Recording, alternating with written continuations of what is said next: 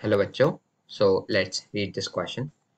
Three vectors a vector, b vector and c vector satisfy the condition a vector plus b vector plus c vector equal to 0 and uh, we have to evaluate the quantity mu which is a vector dot b vector plus b vector dot c vector plus c vector dot a vector.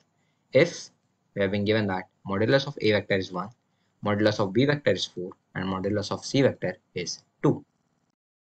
So the key concept involved is key concept is dot product of vectors. Let's write what we have been given. Given is modulus of a vector is equal to 1, modulus of b vector is equal to 4 and modulus of c vector is 2 and a vector plus b vector plus c vector is 0. Also, we have to evaluate mu, which is a vector dot b vector plus b vector dot c vector plus c vector dot a vector.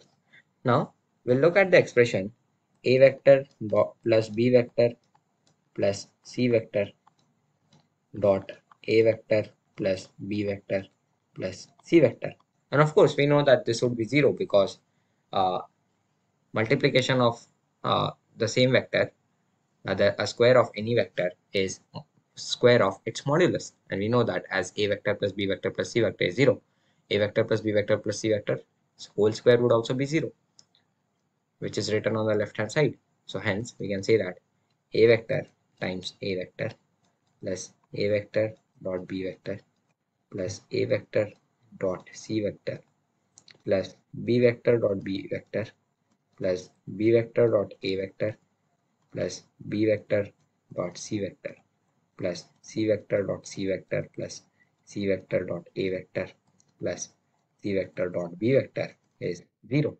Now what we'll do is we'll take this uh, same terms like a vector dot a vector term, b vector dot b vector term and c vector dot c vector term on uh, one side. So we'll have a vector dot a vector plus b vector dot b vector plus c vector dot c vector and the rest of the thing which is left is twice of a vector dot b vector plus b vector dot c vector plus c vector dot a vector. Now this is uh, because we know that a vector dot b vector is equal to b vector dot a vector which is repeated twice in this equation. Similarly for b vector dot c vector and c vector dot a vector and of course the RHS would be 0. Now we know that a vector dot a vector is modulus of a vector square.